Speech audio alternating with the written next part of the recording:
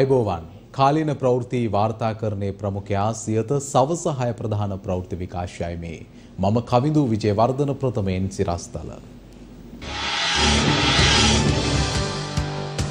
යුගධනවිත් හෙජින් වගේ වෙයිද.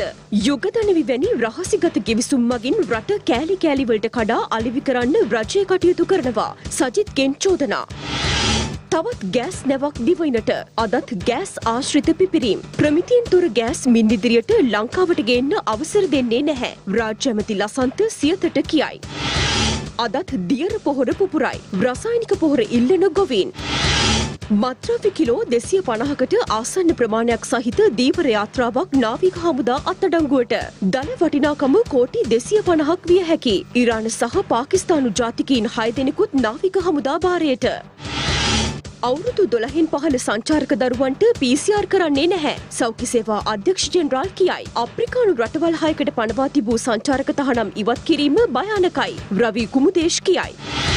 කොවිඩ් වැළඳී සුව වුණොත් තුන්වන මාත්‍රාව හය මාසයකින් පසු සෞඛ්‍යංශ පවසයි. අමරිකාවේ මිචිගන්හි ලාන්සිං රෝහල තරුණ කොවිඩ් ආසාධිතීන්ගෙන් පිරීයයි. ඔමික්‍රෝන් මර්ධනයට බූස්ට එන්නත ප්‍රමාණවත්. බ්‍රිතාන්‍ය පරීක්ෂකින් කියයි. ශ්‍රී ලංකා වෛද්‍ය පරීක්ෂණ ආයතනය සහ ඉන්දියාවේ ජාතික ශාක පෝෂණ විද්‍යායතනය එක්ව මෙරට ආහාර තුන්සිය විසිපහක පෝෂ්‍ය පදාර්ථ හෙළිදරව් කරයි. උත්සව සමයේ අඩුමිලට බාණ්ඩ ලබා දෙන්න හදන බන්දුල කෙසෙල් මුවත් ව්‍රත්තරන් ගානට යයි. කොටදෙනියාවේ ගොවිපලක ගින්නක් සතුන් අටදහස් දෙසීයක් මිය යයි. බදුල්ල බන්ධනාගාරයේ රැඳවියන් දෙපිරිසක් ගැටේ පහක් රෝහලේ. බෝරා ප්‍රජාවේ නායක ජනපති හමුවේ. ප්‍රථමෙන් අවධානය දේශීය පුවත් වෙත. යොගදනබි පසුගිය දිනවල අපේ රටේ ප්‍රධාන මාතෘකාවක් බවට පත් වුණා. නිවෆෝට්‍රස් එනර්ජි අමරිකානු සමාගම නිතර නිතර කතා මැවූ මාතෘකාවක් වුණා. මහරය අස්සන් කළ ගිවිසුමක් නිසා ඇමතිවරු තුන් දෙනෙකු අධිකරණයටත් ගියා. ඒ තමන් ඇත්තටම ගිවිසුම දැක්කේ නැති බව පවසමින්. කවුරුත් දැක්කේ නැති ඇමති මණ්ඩලයත් හරි හැටි දැන සිටියේ නැතැයි පැවසූ යොගදන විගිවිසුම ජනතා විමුක්ති පෙරමුණේ නායක පාර්ලිමේන්තු මන්ත්‍රී අනුර කුමාර දිසානායක මහතා ඊයේ පාර්ලිමේන්තුවේදී සභාගත කළා. මේ අතර විපක්ෂ නායක සජිත් ප්‍රේමදාස මහතා පවසන්නේ රාජ්‍ය මෙවැනි රහසිගත ගෙවිසුම් හරහා රට කෑලි කෑලි වලට කඩා අලබි කරන බවයි. යුගතනවි බලාගාරය පිහිටා ඇත්තේ කෙරවල පිටියේ. මෙමගින් දැනට විදුලිය උත්පාදනය කරනුයේ ඩීසල් වලින්. එසේම LNG ගෑස් යොදාගනත් මෙම යුගදනවි බලාගාරයෙන් විදුලිය උත්පාදනය කළ හැකි. මෙම බලාගාරය ඉදිකිරීමට අමරිකානු ඩොල මිලියන තුන්සීයක් වැය කෙරුණා. අදත් මෙහි විදුලිය නිපදවන්නේ ඩීසල් යොදාගනයි. LNG ගෑස් අප රටට ලැබුණේ නැතිකම නිසා එම අධීර ක්‍රියාත්මක වීම පමාවුණා. LNG යොදාගෙන විදුලිය නිපදවීම ලාභදායී වනු ඇති. එසේනම් LNG අරඹයා ගිවිසුම් ගතවීම වරදක්ද. නැත. ප්‍රශ්නය ඇත්තේ යුගදනවි බලාගාරය ආශ්‍රිතව අත්සන් කර ඇති ගිවිසුමයි. යුගදනවි බලාගාරය සම්බන්ධ ගිවිසුම අත්සන් කළේ රහසිගතව මහරෑ බව මුලින්ම පාර්ලිමේන්තුවට ප්‍රකාශ කළෙත් අනුරකුමාර දිසානායක මහතයි. කිහිප වතාවක්ම එම කිවිසුම ඉල්ලා සිටියත් එය ලබාදීම දිගින් දිගටම රජයේ පාර්ශවයෙන් මගහැරියා. කෙසේ වෙතත් ඊයේ මෙතෙක් අභිරහසක්ව පැවති ඒ කිවිසුම සභාගත කරන්න අනුර කුමාර දිසානායක මන්ත්‍රීවරයාම ක්‍රියා කළා. මේ 13 එක වගන්තිය පැහැදිලිව සඳහන් කොට තිබෙනවා රාජ්‍යගතභාවය හා ප්‍රකාශ කිරීම කියන වගන්තිය යටතේ මේ කිවිසුම අවුරුදු දෙකක් යනකම් දෙපාර්ශ්ව අතර එකඟතාවයකින් තොරව රටට හෝ ජනතාවට ප්‍රකාශපත් නොකර සිටින්නේ. එහෙම කරන්න පුළුවන්ද මේ රටේ දේපල පිළිබඳ? මේ රටේ දේපල අයිතිව තිබෙන මේ රටේ මහජනයාට කිසිදු පෝල්මක්කාර උරුමක්කාරීත්වයකින් මුදල් අමාත්‍යංශ අමාත්‍යවරයාට හෝ එහි ලේකම්වරයා ආටිකලට පවරලා නැහැ. ඒ නිසා මේ රටේ දේපල පිළිබඳ අත්සන් කරලා ලබන ඕනෑම ගිවිසුම මේ රටේ ජනතාවට දැන ගැනීම සඳහා පරම අයිතියක් තිබෙනවා. හැබැයි තමුන්නාන්සේලා 13 එක වගන්තිය දානවා මේ ගිවිසුම සභාගත කර හැකි වන්නේ එළිදරව් කළ හැකි වන්නේ ඇමරිකාවේ සමාගම එකඟ වන්නේ නම් පමණයි. මම අහන්නේ ඇයි එහෙම වගන්තියක් දාන්නේ? මේකේ තුන දෙක වගන්තිය කියන ඉදිරි ගිවිසුම අත්සන් කරනකොට NFE Sri Lanka power holding සමාගමට ලැබියාවක් සහිතව එහෙට අනුග්‍රහය දක්වන ලෙස ඉදිරි ගිවිසුම අත්සන් කළ යුතුයි කියලා. ඒ නිසා මේ ගිවිසුම සංගවාගෙන හිටපු කරුණු ඉතා පැහැදිලිද? එහිදී ඔහු එම ගිවිසුම ආශ්‍රිතව පෙන්නූ භයානකකම අප කාටවත් අමතක කරන්න බැහැ. අපේ රටට විශාල ආර්ථික පාඩුවක් සිදු කළ හෙජින් ගනුදෙනුව වගේ තවත් විශාල ආර්ථික අගාධයකට මෙම ගිවිසුම හරහා අප ඇද වැටේවිත. අපේ රටේ සියලු විදුලි බලාගාරවලට LNG ගෑස් සැපීමේ ඒකාධිකාරී බලය එක් සමාගමකට හිමිවීම කෙතරම් භයානකද. මේ නිසා විය යුතුමයි අපේ රටේ ප්‍රධාන පෙළේ ආගමික නායකින් එකමුතුව අධිකරණයට ගියේ. අපේ රටේ දේශපාලන ඉතිහාසයේ පළමු වතාවට ආණ්ඩුවේම ඇමතිවරු තිදෙනකුත් අධිකරණයට ගියා. ඒ මේ ගිවිසුමට එරෙහිවයි. අදත් යුගතනවි ගිවිසුම පිළිබඳව විවිධ අදහස් පළ වුණා. ආණ්ඩුව අද මේ රටේ ස්වෛරීත්වය අමු අමුවේ උල්ලංඝනය කරනවා. මහා දුෂ්ට ක්‍රියාවලියක් ක්‍රියාත්මක කරනවා. යුග දනවි බලාගාරයේ කොටස් අභිරහස් ලෙස කැබිනට් මණ්ඩලයට බොරු කියලා ඇමතිවරු නොමග යවලා මේ රටේ විදුලි බල ශේෂත්‍රයේ මහා අනතුරුදායක තත්ත්වයක් බලශක්ති අනාරක්ෂිත භාවයක් මේ රජය නිර්මාණය කල්ලා තිබෙනවා අමු අමුවේ කුණු කොල්ලට මහදවල් යුගදනවි බලාගාරයේ කොටස් ඇමරිකන් සමාගමකට අයතා ආකාරයෙන් විකිනීම තුළ. සමගී ජන බලවේග රජයක් තුළ අපි මේ සියල්ලක්ම ආපහු හරවනවා හරවනවාමයි කියන එක මම මේ අවස්ථාවේ මේ රටේ ජනතාවට පොරොන්දු වෙනවා. යුග ධනවී බලාගාරයේ සම්බන්ධ තියෙන මේ ගිවිසුම අනිපෝට්‍ර සමාගමට ලබා දීලා තියෙන ගිවිසුම කැබිනට් එකේ ප්‍රධානියා හැටියට ජනාධිපතිතුමාවත් දන්නවද? ඇමතිවරු නම් කියනවා දැක්කේ නෑ දන්නේ නෑ කමන්නේ අපි අත උස්සනවා. නම් අපිට ප්‍රශ්න කරන්න වෙනවා ඇමතිවරු නොදන්නවා වුණාට මේක ජනාධිපතිතුමා නොදැනුවත්ව සිද්ධ නොවුණා නෙවෙයි කියන කාරණේ අපිට කියන්න වෙනවා. ජනාධිපතිතුමා දැනුවත්ව සිද්ධ වුණා නම් බරපතල ප්‍රශ්නයක් තියෙනවා. මොකද එතුමත් ඇමරිකන් පුරවැසිභාවය අතහැරියට 20 වෙනි සංශෝධනය තුළ නැවත එතුමාට ඇමරිකන් පුරවැසිභාවය ලබා ගන්න පුළුවන්. සියලුම LNG බලය ඇමරිකාවේ නිපුරවල සමාගමට දුන්නම මොකද්ද රටට ඉතුරු වෙන්නේ? මොකද්ද මේ ආයෝජනයේ වැදගත්කම? උදන් වනන්න එපා. අප්පුඩි ගහපු තප්පුලපු පොදුජන පෙරමුණ ශ්‍රී ලංකා අදහස් පක්ෂ මේ අවුල්කාර සියලු පක්ෂ මේ කාලකන්නේ ගිවිසුම්වට විරුද්ධව තමන්ගේ රටට ආදරය නම් කශයරු ගාව තියාගෙන විරුද්ධභාවය ඉදිරියේදී ප්‍රකාශ කළ යුතුයි. ඉතින් ඔය ගිවිසුම මම නම් දැක්කේ නෑ. ඉතින් ඒ ගිවිසුම හරි ගිවිසුමද නැත්නම් හොර ගිවිසුමක්ද මොකද්ද කියන එක මම දන්නේ නෑ. හැබැයි යුගදනවියක මේ රටට අවශ්‍ය කරන ඉතාමත්ම හොඳ දෙයක්. මොනවද ඒගොල්ලෝ කියන්නේ? ඔවුන් කියන්නේ ආයෝජක ලංකාවට එන්නේ නැහැ කියලා. ඒතර කොවිඩ් අර්බුදය තියෙන වෙලාවෙකදී ඇමරිකන් ආයෝජකයෙක් කියනවා කියන්නේ මුළු රටක් ලබපු ජයග්‍රහණයක්. ඉතින් ඒ තියෙන ඉරිසියාව. ඒ නිසා ඕක ගැන අපිට පුදුම වෙන්න දෙයක් නෙමෙයි. මිනි මරාපු කල්ලියක් ඡන්ද වලට විරුද්ධ වෙච්ච ඡන්ද දාන්න ගිය මිනිස්සු මරාපු කල්ලියකගේ විරෝධය ගැන අපිට අමුතුවෙන් සාකච්ඡා කරන දෙයක් නැහැ. මේ ආණ්ඩුව දෙදරලා තියෙන්නේ. ආණ්ඩුව ඉරිතලලා තියෙන්නේ. ඒ ඉරිතල තැලීමට හොඳම උදාහරණය තමයි මේ ආණ්ඩුවේ ඉන්න ඇමතිවරු තුන්දෙනෙක්ම කැබිනට් එකෙන් සම්මත කරයි කියලා කිව්ව යුගදනවි බලාගාරයේ ගිවිසුමට විරුද්ධව අද ඒගොල්ලෝ ශ්‍රේෂ්ඨාධිකරණයට ගිහිල්ලා තියෙනවා. ඒ කියන්නේ Taman වාඩි වෙලා ඉන්න කැබිනට් එකට විරුද්ධව ශ්‍රේෂ්ඨාධිකරණයට ගිහිල්ලා. ඉතිහාසයේ කිසිම දවසක මේවා ආණ්ඩුවක් තිබුණේ නැහැ. ඒකට අපිට පේන දේ තමයි එක්කෝ කැබිනට් එකේ ප්‍රධානියා මේ තුන්දෙනාව අයින් කරන්න ඕනේ. එහෙම නැත්නම් මේ ඇමතිවරු තුන්දෙනා එකඟ නැති දෙයක් ආණ්ඩුවේ ඇතුලේ සිද්ධ වෙනවා නම් වහාම ආණ්ඩුවෙන් ඉල්ලා අස්සෙන්න ඕනේ. වෙළඳ පොළට අලුතින් ගෑස් සිලින්ඩර නිකුත් කරන්න පාරිභෝගික අධිකාරිය සමාගම් දෙකටම නියෝග කළා. ගෑස් සිලින්ඩර් එකතු කරගන්න කියලත් දැනුම් දී තිබෙනවා. මෙසේ නියෝග කරන්න සිදුවුණේ දිගින් දිගටම සිදුවන ගෑස් ආශ්‍රිත පිපිරීම් නිසයි. අලුතින් නිකුත් කළ ගෑස් සිලින්ඩර් ආශ්‍රිත පිපිරීම් කිහිපයක් ඊයේත් අදත් වාර්තා වුණා.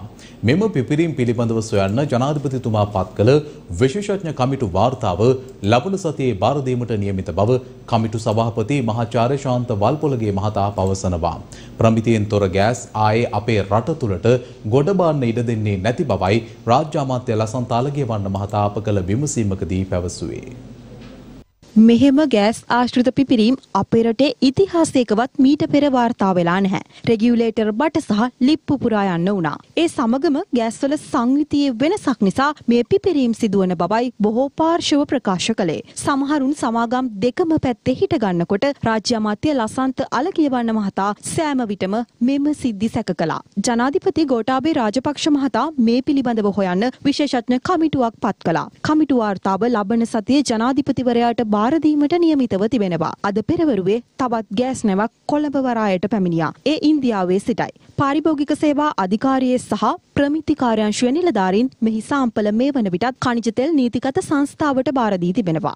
නැවත කුමන හේතුවකටවත් ප්‍රමිතියෙන් තොර ගෑස් ලංකාවට ගෙනීමට ඉඩ දෙන්නේ නැති බව සියත අප කළ විමසුමකට පිළිතුරු දෙමින් රාජ්‍ය අමාත්‍ය ලසන්ත අලගියවන්න මහතා ප්‍රකාශ කළා. බොහෝ විට මේ දක්වා වාර්තා වුණු සිද්ධීන් පරීක්ෂණයට ලක් කරාට පස්සේ ඒ වාර්තා වුණු කරුණු නෙමෙයි වෙනත් දේවල් තමයි අනාවරණ වෙලා තිබෙන්නේ. ඒ අනුව නව ලාංඡනයක් නිකුත් කරපු ඒවා තුනක් මේ වන විට යම් කිසි ආකාරයක අනතුරට ලක් වෙලා තිබෙනවා කියලා වාර්තා වුණා. එකෙන් එකක් මොහොම පැහැදිලිව ඒ නව ලාංඡනයක් නෙමෙයි බවට අනාවරණ වෙලා තිබෙන්නේ. අනිත් කරුණු දෙක පිළිබඳව විශේෂ මේක වන විට අපට ඒ වාර්තා ලැබෙනවා. අද උදෑසනත් දෙවෙනි නව ලංකාවට ළඟා වෙලා තිබෙනවා පාරිශුද්ධ අධිකාරිය සහ දාල් රාජ්‍ය ආයතන නිලධාරීන් ඒ නැවට ගිහිල්ලා නියති ලබාගෙන කලකිරීම සංස්ථාවට යොමු කරලා තිබෙනවා. ඒ අනුව මොනම ආකාරයකටවත් මින් ඉදිරියට ඒ නියමිත ප්‍රමිතියට අනුකූලව නැති කිසිදු ගෑස් ප්‍රමාණයක් ලංකාවට තින්ට අවසර ලබා දීමක් සිදු කරනු ලබන්නේ නැහැ. යම් සමාගමක් මේ සම්බන්ධව නීති විරෝධී ආකාරයට කටයුතු කරලා තිබෙනවා කියන අවුරු කරගන්න හැකිවුණු විකසම අදාළ නීති අනුකූල ක්‍රියාමාර්ග ගැනීමට අපි කටයුතු කරනවා කියලා කරන්න ඕනේ. මේ අතර සීල් කඩපු නැති පරණ ගෑස් සිලින්ඩර ගෙනත් බාර දෙන්න කියලා සමාගම් ප්‍රකාශ කරලා තියෙනවා. සීල් පිටින් ගෑස් සිලින්ඩර ගෙදර තියාගන්න ගෙනියන්නේ කවුද කියලා පාර්ලිමේන්තු මන්ත්‍රී දිලීප් වෙදාරච්චි අද ප්‍රශ්න කළා. මේ ගෑස් පිපිරීම ගැන පරීක්ෂණයක් කරන්න ජනාධිපතිතුමා කමිටුවක් පත් කරා. ඒ පත් කර කමිටුවේ වාර්තාව පෙරීඩාව ප්‍රමිතියෙන් නොමැති ගෑස් ආනයනය කරපු නිසා මේ තත්ත්වය උදා වුණා ඒ ගෑස් පිපිරීම ඇති වෙනවා කිය. ඒ නිසා ජනාධිපතිතුමා කමිටුවේ නිර්දේශය අනුව එතුමා නියෝගයක් දුන්නා ගෑස් සමාගමට මේ විනාශයට පත්වෙන නිවෙස්වල ඒ වන්දි අලාභ ලබා දෙන ලෙස. මේ ජනතාව ගොනාට අන්දන කතාවක් තමයි ගෑස් සමාගම මේ ප්‍රකාශ කරන්නේ. ඉතින් ගෑස් සමාගම කියනවා මේක සීල් කඩන්න නැතුව ගෑස් සිලින්ඩරේ ගෑලා බාර දෙන්නේ කියලා. මේක ආපදාවක් සලකන්න රටේ. අද වන විට අලබි කර ඇති ගෑස් සිලින්ඩර ආපසු එකතු කරලා පරණ ගෑස් වෙනුවට ප්‍රමිතියෙන් යුතු ගෑස් පුරවනවා කියන එක හිතන තරම් තරම් ලේසි නැහැ. ඒ පිළිබඳව ඇත්ත දන්න විශේෂඥයින් පවසන්නේ අඩුම ගානේ ඊට තව මාස හතරක් පහක්වත් ගත විය හැකි බවයි. අදත් ගෑස් ආශ්‍රිත පිපිරීම් කිහිපයක්ම වාර්තා වුණා.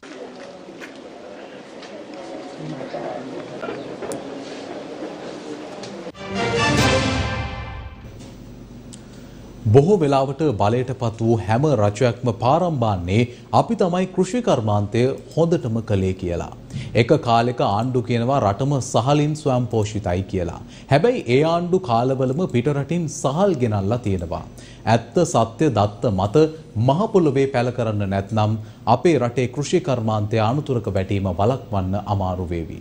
අදත් දියර පොහොර පුපුරා ගඳ ගස්වමින් ගලා ගිය තැන් වාර්තා වුණා.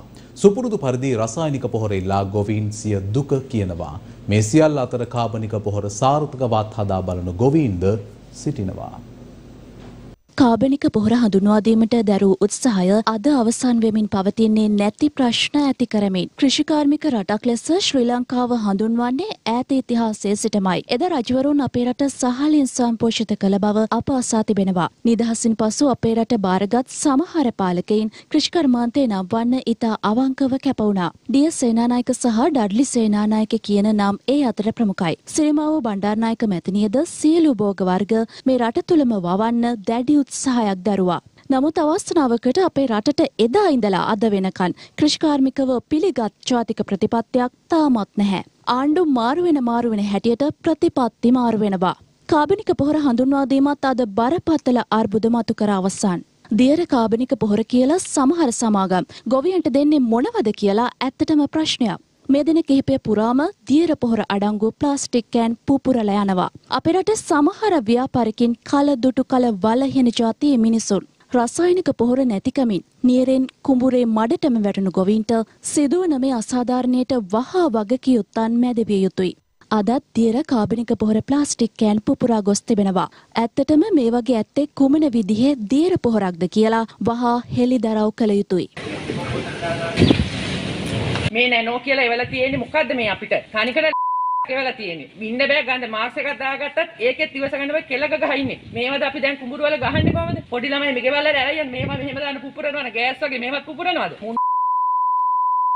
ඇමති කියන්නත් බෑ මූට. මූ ඇමතියෙක් නෙවෙයිනේ. මූ ගොන්ඩාල කෙනෙක්. මේ අතර අදත් රසායනික පොහොර ඉල්ලා රාජාංගනයේ ගොවින් විරෝධතාවයක නිරත වුණා. අපට ඒ කියන තෙල් පොහොර ටික රත්තරම් බඩුව තියලවත් මහත්තයෝ ගණ්ඩ විදිහක් නෑ. මේ විදිහට රුපියල් දහස් ගණන් දීලා කුඹුරු වැඩ කරලා මෙව්වගේ ගනුදෙනු බේරන්න නම් මහත්තයෝ රත්තරම් වී කරල් මතු වෙන්න ඕන ගොයන් කපනකොට. පුරංකුඹුරු අස්වද්දනවා වෙනසක් කරනවා කියලා. නමුත් බලන්න අද මේ මොහොත වෙනකොට රාජාංගන ව්‍යාපාරයේ මේ ඇස් පන අපිට පේනවා මේ කුඹුරු පුරම් බවට පත් වෙලා තියෙනවා. ඇස් පන අපිට මේ කුඹුරු පුරම් වෙලා තියෙනවා. රාජාංගන ව්‍යාපාරයේ අක්කර 35000ක් විතර දෙපැත්තේ වම දකුණේ තියෙනවා. මේකේ අක්කර 10 ගාණක් මෙහෙම යායෙන් යාය ඇරිලා තියෙනවා. මේ සියලු ප්‍රශ්න මැද කාබනික පොහොර වගාවෙන් ජීවිතය ජයගන්න ගොවිනුත් ඉන්නවා. ඒ පිළිබඳව අනුරාධපුරයෙන් අද අපට වාර්තා වුණා.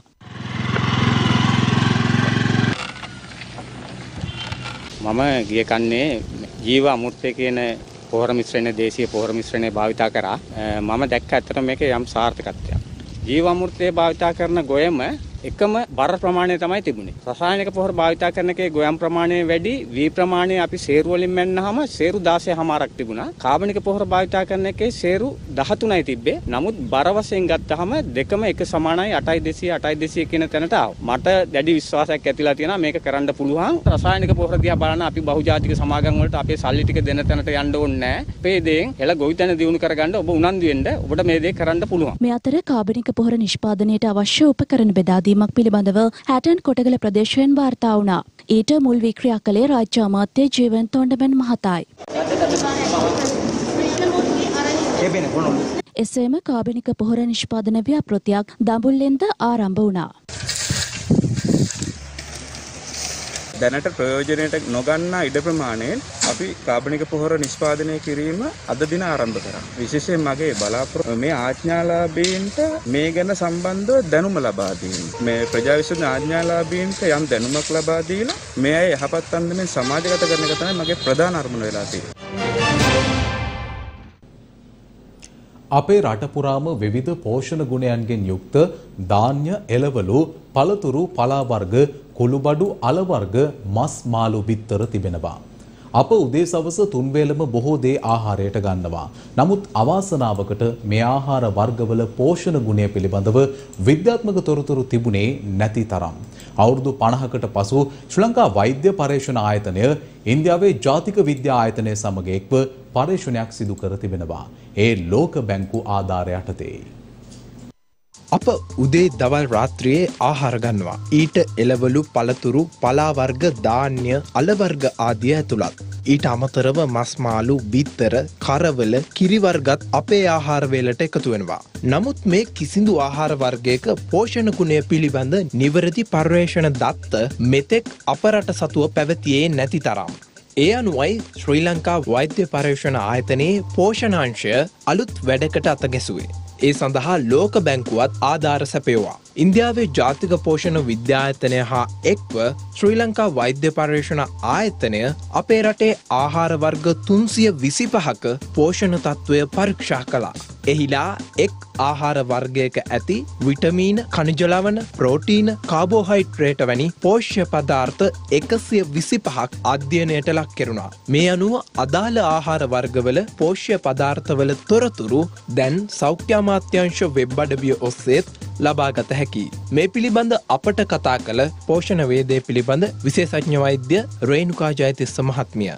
අපේ ආහාරවල තියෙන පෝෂ්‍ය පදාර්ථ ගැන අපිට ලොකු වැටහීමක් තිබුණේ නමුත් පසුගිය මාසයේදී වෛද්‍ය පරීක්ෂණ ආයතනයෙන් ආහාරවල තියෙන පෝෂණ ගුණය පිළිබඳ තියෙන වගුවක් පිළිබිඹු කළා. මේකේ ආහාර කාණ්ඩ 325ක් ඇතුල් වෙලා තියෙනවා. මේ හැමදේම ලංකාවේ සුලභව තියෙන ආහාර තමයි මේකට ඇතුළත් වෙලා තියෙන්නේ. හැම ආහාරයකම තියෙන පෝෂ්‍ය පදාර්ථ 125ක් මේ වගුවෙන් පිළිබිඹු කරනවා. මගේ ආහාරයේ තියෙන අඩුපාඩු ගැන විටමින් අඩුවක් තියෙනවද, කංච ලවණ වල අඩුවක් තියෙනවද, ප්‍රෝටීන් අඩුවක් තියෙනවද කියන එකත් තම තමන්ට උනත් බලා ගැනීමේ රුකුලක් හම්බෙනවා මේ වගුව පාවිච්චි කිරීමේදී. ලංකාවේ තාමත් මන්ද පෝෂණය කියන එක ඉතාමත්ම තදින් පවතින දෙයක්.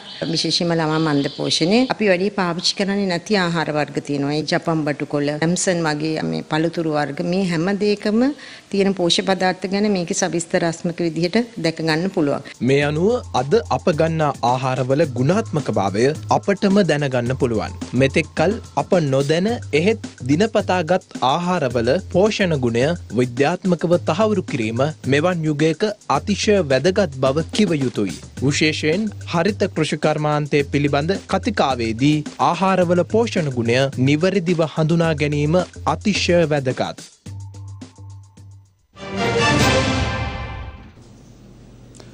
අදවන විට එළවලු සහල් පරිප්පු ඇතුළු අත්‍යවශ්‍ය භාණ්ඩවල මිල ගැන අමුතුවෙන් සඳහන් කළ යුතු නැහැ.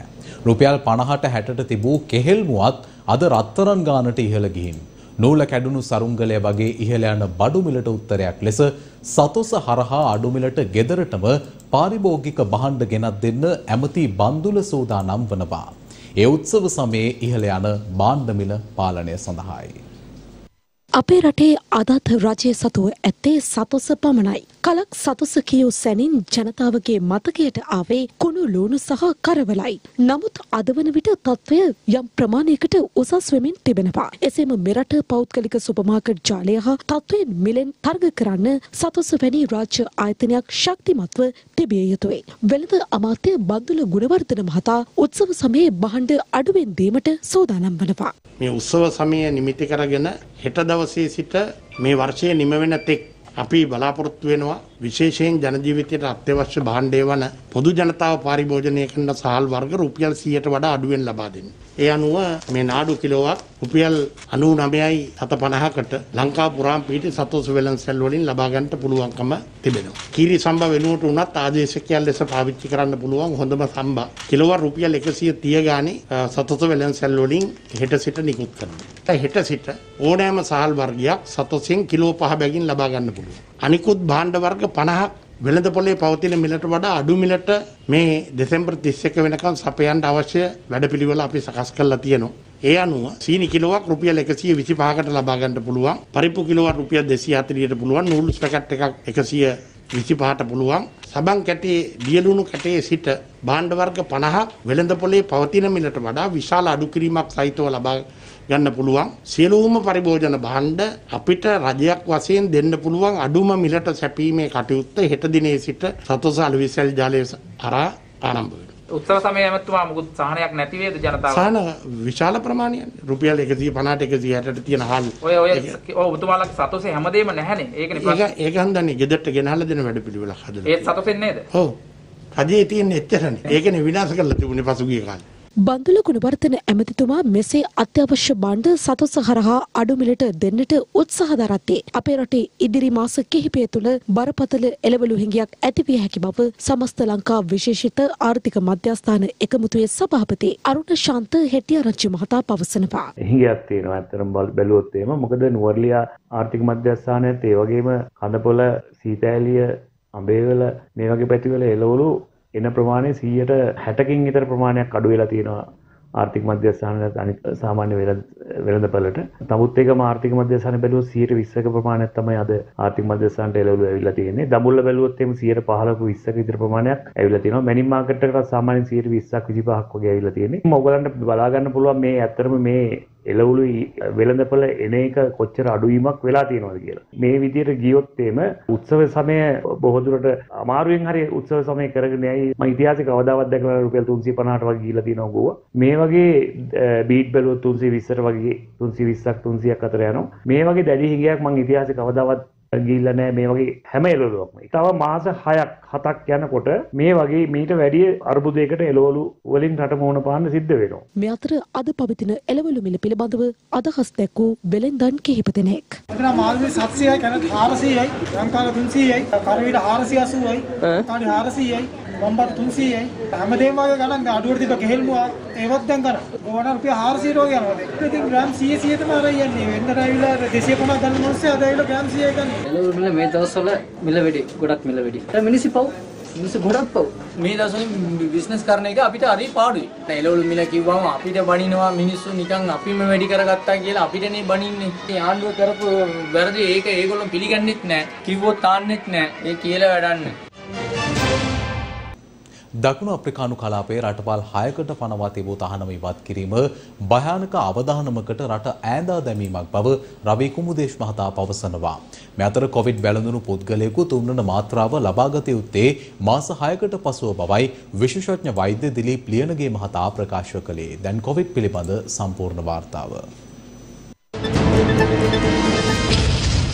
අප්‍රිකානු කලාපේ රටවල් හයක් සඳහා පනවා තිබූ සංචාරක සීමා ඉවත් කිරීමට ඊයේ කටයුතු කෙරුණා. ඒ සෞඛ්‍ය සේවා අධ්‍යක්ෂ ජෙනරාල්වරයාගේ අනුමැතිය මතයි. මෙරටට පැමිණෙන සියලු ගුවන් මගින් කොවිඩ් රෝගයට සම්බන්ධ සියලු තොරතුරු එනම් ලබාගත් එන්නත් පිළිබඳ වාර්තා කොවිඩ් වැළඳී නොමැති බවට තම ගමන පිටත් වීමට පෙර ලබාගත් වාර්තා විදේශ ගමන් බලපත්‍රයේ දත්ත පිටුව ආදිය මාර්ග ගත කර ඇති බවට සහතික කර දැනගන්නා ලෙසයි සෞඛ්‍ය සේවා අධ්‍යක්ෂ ජෙනරාල්වරයා සිවිල් ගුවන් සේවා අධිකාරයේ අධ්‍යක්ෂ ජෙනරාල්වරයා හා ගුවන්තොටුපළ හා ගුවන් සේවා සමාගමේ සභාපතිවරයා වෙත දන්වා ඇත්තේ. එසේම වයස අවුරුදු දුළහට අඩු ළමුන් මෙරටට පැමිණීමේදී ගමනාරම්භයට පෙර ලබාගෙන ලංකාවේ ගුවන්තොටුපළේදී COVID-19 වැළඳී නොමැති බවට තහවුරු කිරීම ඉදිරිපත් කළ යුතු තිබූ වාර්තා දැන් අවශ්‍ය නොවන බවද සෞඛ්‍ය සේවා අධ්‍යක්ෂ ජෙනරාල්වරයා පවසනවා. කෙසේ වෙතත් වයස අවුරුදු දොළහට සහ ඊට වැඩි සියලු මගින් තමා ගමන් ආරම්භයට පෙර පැය හැත්ත දෙකක් තුළ ලබාගන්නා ලද රෝගය වැළඳී නැති බව සනාත කිරීමට ඉංග්‍රීසි භාෂාවෙන් ලබාගන්නා ලද වාර්තා පෙර පරිදිම ගුවන්තොටුපළේදී අදාළ බලධාරින් වෙත ඉදිරිපත් කිරීම අනිවාර්යයි. කෙසේ වෙතත් මෙලෙස සංචාරක තහනම ඉවත් කිරීම ගැටලු සහගත බවයි රසායනාගාර වෘත්තීයවේදීන්ගේ විද්වත් සංගමයේ සභාපති රබී කුමුදේශ් මහතා පවසන්නේ. ඔමික්‍රෝන් කොවිඩ් ප්‍රභේදය ලංකාවට පැමිණීම සහ ලංකාවේ කොයි ආකාරයෙන්ද දැනට සම්ප්‍රේෂණය වෙලා තියෙන කියන කාරණාව පිළිබඳවත් ඔමික්‍රෝන් ප්‍රභේදය පිළිබඳවත් ලංකාව රටක් විදිහට තවම හරියට දන්නේ නැහැ. විශේෂයෙන්ම ලෝකයක් මේ පිළිබඳව සොයා ගැනීම කරමින් ඉන්නවා. ඉතින් මම හිතන්නේ අපි මේ වෙලාවේ කඩිනමින් සංචාරණ සීමා දැමූ රටවල් නැවත ලිහිල් කිරීම කියන කාරණාව අපි දකින්නේ ඉක්මන් වැඩි කාරණාවක් විදිහට. මොකද අපි තවම දන්නේ නැහැ මේ ප්‍රභේදයේ තියෙන සංකීර්ණතාවය, ඒ වගේම මේ පර්යේෂණ තොරතුරු තාම හරියට හෙළිදරව් වෙලා නැහැ. එහෙම තියෙද්දි අපි තාම ගුවන්තොටුපළ පරිස්සමේ PCR පරීක්ෂණ નિවරදිව කරන්නේ නැති තත්ත්වයක් යටතේ මේක අනවශ්‍ය අවදානමක් ගැනීමක් කියලා තමයි අපි විශ්වාස කරන්නේ. මෙරට දෛනික කොවිඩ් රෝගීන් යළිත් ඉහළ යමින් පවතිනවා. එවැනි පසුබිමක එළඹෙන උත්සව සමයේදී නිසි සෞඛ්‍ය මාර්ගෝපදේශ අනුගමනය කිරීමෙන් කටයුතු කිරීම අත්‍යවශ්‍ය බවයි සෞඛ්‍යංශ පවසන්නේ. දැන් මෙතෙන්දි තියෙන්නේ සෞඛ්‍ය පද්ධති වලලා ගොඩක් රෝගීන් වාර්තා වෙනවා කියන්නේ ඊට වඩා රෝගීන් ටිකක් දැඩි සත්කාර ඒකක ඒ වගේ දේවල් පිරෙන්න ගන්නට. අපේ ලංකාවේ තියෙන දැඩි සත්කාර ගන්නට වඩා සමහරට රෝගේ ගොඩක් පැතිරුණත් ඒක සුළුවට පැතිරුණත් ගොඩක් දෙනෙක් ඉන්ෆෙක්ට් වෙනකොට දැඩි සත්කාර ඒකක වලට යන්න ඕන වෙන ගාන වැඩි වෙන්න පුළුවන්. ඉතින් ඒ හන්දා අපේ සෞඛ්‍ය පද්ධතිය රැකගෙන අපි ක්‍රියා කරන්න. මේ අතර නිරෝධායන නීති උල්ලංඝනය කරමින් කටයුතු කරන ව්‍යාපාරික ස්ථාන පරීක්ෂා කිරීමේ විශේෂ මෙහෙයුමක් අද අනුරාධපුර නගරයේදී ක්‍රියාත්මක කෙරුණා. කොවිඩ් වෛරසය ආසාධනය වී සුව වූ පුද්ගලින් බූස්ට එන්නත ලබාගත යුත්තේ කෙසේද යන්න සම්බන්ධයෙන් කොළඹ දිස්ත්‍රික් සෞඛ්‍ය සේවා අධ්‍යක්ෂ විශේෂඥ වෛද්‍ය දිලිප් ලියනගේ මහතා මෙලෙස පැහැදිලි කළා. දැනට තිබෙන සාක්ෂි පදනම් කරගෙන අපි තුන්වෙනි මාත්‍රාව දෙන්නේ මාස 3න් නෙවෙයි මෙහිදී මාස 6කට පසු. ඒක නිසා කරුණා කරලා ඔබට දෙවන මාත්‍රාව ගැනීමෙන් පසු මෙම රෝගය ආසාදනය වුණේ නම් කරුණා කරලා මාස 3 පහුවෙලා මාසාය සම්පූර්ණ වීමේදී පැමිණ එන්නත් කරණය සිදු කරන ගන්නා ලෙස කාරුණිකව ආයාචනය කරනවා. මෙහිදී තවත් වැදගත් කරුණක් කියන්න ඕන නැවතත් අපි බොහෝ විට ඊළඟ සතියේ ඉඳගෙන අවුරුදු 20ට වැඩි අයවලුන් සඳහාද රජය විසින් එන්නත් කරණය බූස්ටර් තුන්වැනි මාත්‍රාව දීමට සියලුම විධිවිධාන සකස් කරමින් තිබෙනවා. ඒක නිසා කිසිදු පැකලීමකින් තොරව පුළුවන් තරම් ඉක්මනට මෙම සති දෙක ඇතුළත මෙම එන්නත් කරන වැඩපිළිවෙලට සාර්ථක කර ගැනීමට අපිට සහයෝගය දෙන්න කියලා සියලුම ජනතාවගෙන් ආයාචනය කරනවා. දැන් අවධානය ලෝක කොවිඩ් තත්ත්වය වෙතයි. ඇමරිකාවේ මිචිගන්හි ලාන්සින් රෝහල තරුණ කොවිඩ් රෝගීන්ගෙන් පිරී යමින් පවතින බව රෝහල් බලධාරීන් පවසනවා. මින් වැඩිම පිරිසක් කොවිඩ් ඩෙල්ටා ආසාදිතින් බවයි වාර්තා වන්නේ. කොවිඩ් ආසාදිත තරුණ රෝගීන්ගෙන් 99%ක්ම කොවිඩ් එන්නත ලබාගෙන නැහැ. ඒ සමග ශීත ඍතුවත් ආරම්භ වී අවසන්. මේ නිසා ඊටම කනගාටුදායක තත්වයකට තම රෝහල පත්ව ඇති බවයි බලධාරීන් පවසන්නේ. තම දෙයස් ඉදිරිපිට තරුණයින් ජීවිතය අතහැර යනු දැකීම මහත් අවාසනාවක් බව රෝහල් හෙදියක් ප්‍රකාශ කරනවා. වෙනවා. සති දෙකක් වැනි කෙටි කාලයක් තුළ රෝගීන්ගේ 20ක් පමණ වැඩිවීමක් පෙන්눔 කරන බවයි රෝහල් අධ්‍යක්ෂකවරයා පවසන්නේ. ඔමික්‍රෝන් මර්ධනය සඳහා බූස්ටර් එන්නත ගැනීම අනිවාර්ය බව බ්‍රිතාන්‍ය විද්‍යාඥයන් පිරිසක් පෙන්වා දෙනවා.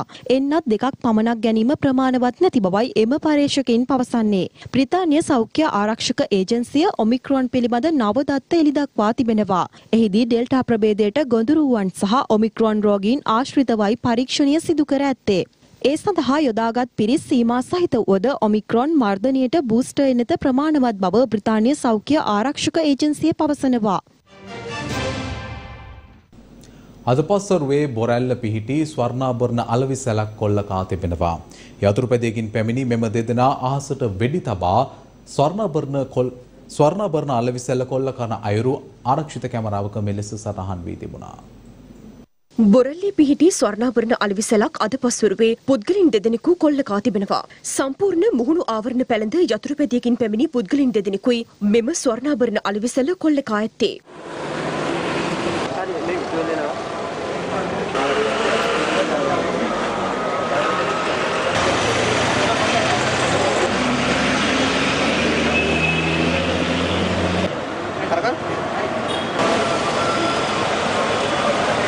සැකකරුවන් කොල්ල කෑමට පැමිණෙන ආකාරය CCTV දර්ශනවල මෙලෙස සටහන් වී තිබුණා.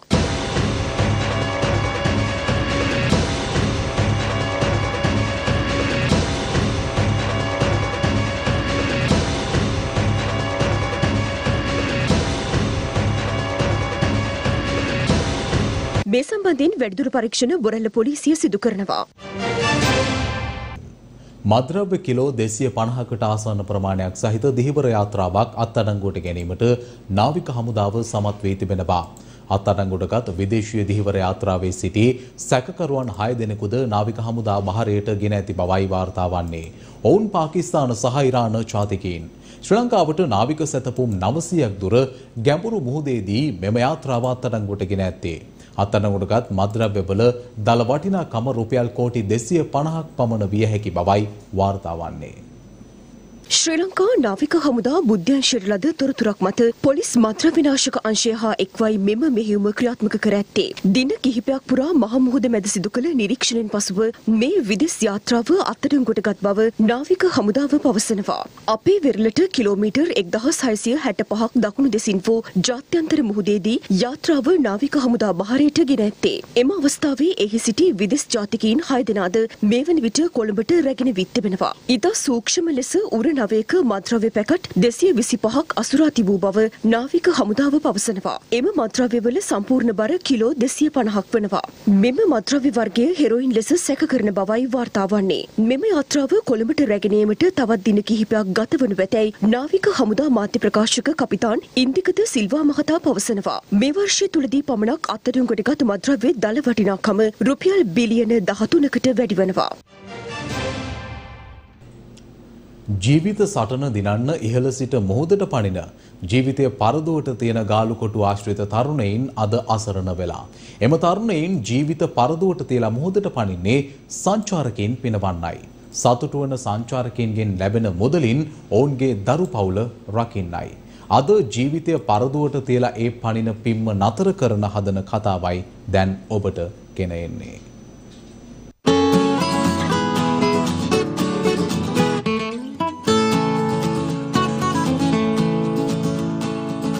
ගාල්ල යනු සංචාරකයින්ගේ ආකර්ෂණය දිනාගත් ප්‍රධාන නගරයක්. මෙරටට පැමිණෙන බොහෝ සංචාරකයින් ගාල්ල මගහැර යන්නේ නැහැ. ඒ ඓතිහාසික ගාලු කොටුව නිසායි.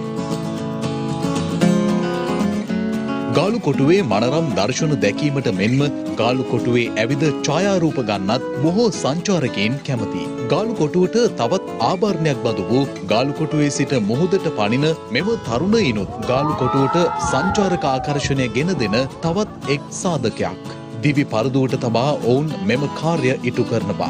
සංචාරකයින්ද ඉන් ලබන්නේ නොමද ආස්වාදයක්. ජීවිතය පරදුවට තබා මුහුදට පැන සංචාරකයින්ගෙන් ලබන මුදලිනුයි මේ අය දරු පවුල් ජීවත් කරවන්නේ. නමුත් දැන් ඔවුන්ට මොකක්ද වුණේ. කොවිඩ් කාලයේදී මෙරටට සංචාරකින් පැමිණියේ නැති නිසා ඔවුන් දැඩි ලෙස අසරණ වුණා. ආදායම් මාර්ගද බිඳ වැටුණා. නමුත් යන්තම් පනගහලා රටේ තත්ත්වය දැන් යථා තත්ත්වයට පැමිණෙමින් තිබෙනවා. සංචාරකීන්ද මෙරටට පැමිණෙනවා. නමුත් කබලෙන් ලිපට වැටුණා වගේ දැන් තවත් කරදරයකට මෙම තරුණයින්ට මුහුණ දෙන්න සිද්ධ වෙලා. මේ ඔවුන්ගේ කතාවයි.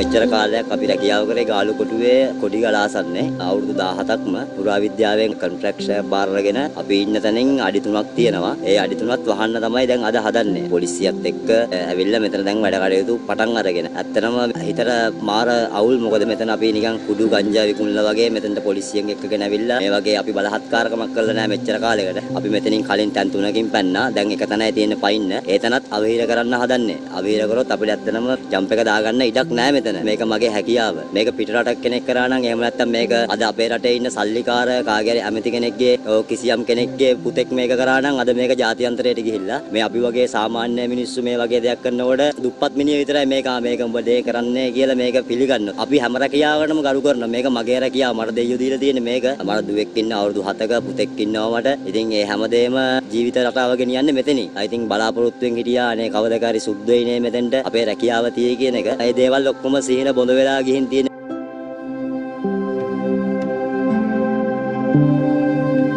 මෙරට ප්‍රභූ දරුවන්ට රටේ ඕනම දෙයක් ඕනම ක්‍රීඩාවක් කිරීමට ඇති හැකි පසුබිමක රටේම සංචාරක ශේත්‍රයේ ආකර්ෂණය දිනාදෙන මෙම තරුණයින් පිළිබඳව බලධාරීන්ගේ ඇස් යොමු නොවන්නේ මන් දැයි සියත අප ප්‍රශ්න කරනවා.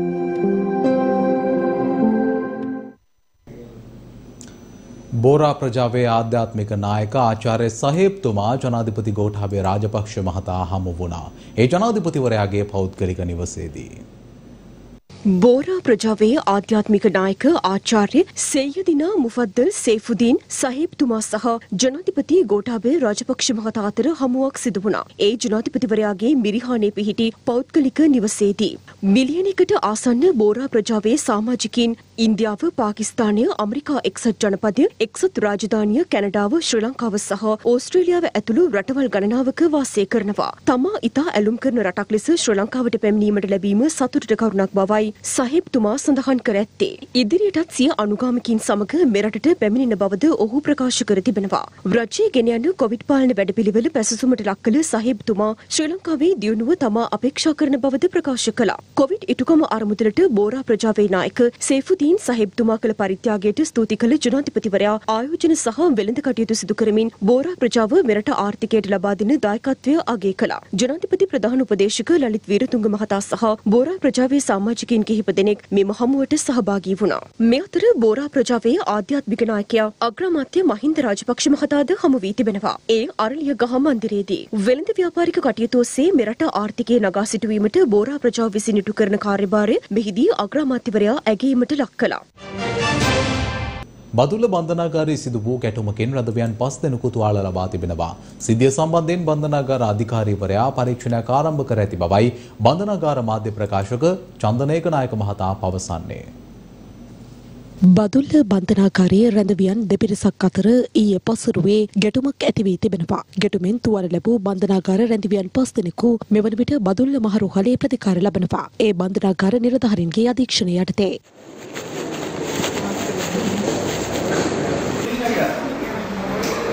සිද්ධිය සම්බන්ධයෙන් බන්ධනාගාර අධිකාරීවරයා මේ පිළිබඳ පරීක්ෂණ ආරම්භ කර තිබෙනවා. දැන් තවත් පුවත් කිහිපයක් කෙටියෙන්. දිවුලපිටිය වරාදල ප්‍රදේශයේ මහා පරිමාණ කුකුළු ගොවිපලක ගින්නක් හටගත්තා. ගින්නෙන් කුකුලන් 8000ක් පමණ මිය ගොස් ඇති බවයි වාර්තා වන්නේ. ගින්නට හේතුව මෙතෙක් අනාවරණය කරගෙන නැති අතර වැඩිදුර පරීක්ෂණ කොටදෙනියව පොලිසිය මගින් සිදු කරනවා. ඒකල කොටුගොඩ ප්‍රදේශවාසීන් බැනර් හා පෝස්ටර් ප්‍රදර්ශනය කරමින් විරෝධතාවයක නිරත වුණා. ඒ ඒකල කොටුගොඩ නිවාස සංකීර්ණයකට හා මහවත්ත ග්‍රාම නිලධාරී වසමේ පවුල් 5000කට අධික පිරිසකගේ ගමනාගමනයට බාධා එල්ලවන ආකාරයෙන් නව මාර්ගයක් ඉදිකිරීමට විරෝධය පළ කරමින් වේයන්ගොඩ ප්‍රදේශයේ පාසලක උසස් පෙළ සිසුවෙකුට ගුරුවරයෙකු පහර දීමේ පුවතක් වාර්තා වනවා. අදාළ සිසුවා මේ වන විට වතුපිටිවල මූලික රෝහලේ ප්‍රතිකාර ලබන බවයි අප වාර්තාකරු සඳහන් කළේ. පුවත් නිමයි සුබ දවසක්.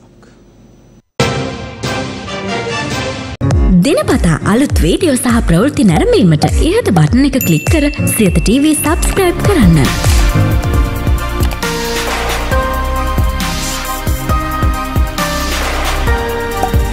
අලුත් වීඩියෝ ගැන මුලින්ම දැනගන්න මෙම සීනුව ක්ලික් කරන්න.